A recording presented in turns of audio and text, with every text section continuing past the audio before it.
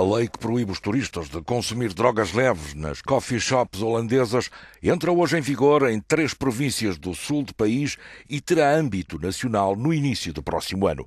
Segundo a nova lei, só a população holandesa residente ou os portadores de um passo especial podem consumir cannabis nos referidos estabelecimentos.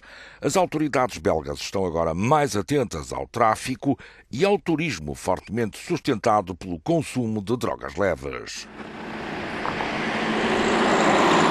L'ensemble des services policiers belges et néerlandais. Être présent sur le territoire D'une part, il y aura les Belges qui ne voudront plus. Por um lado, teremos os consumidores belgas que já não podem ir à Holanda e do outro estarão os estrangeiros que vão para Maastricht e que agora pararão no nosso belo país.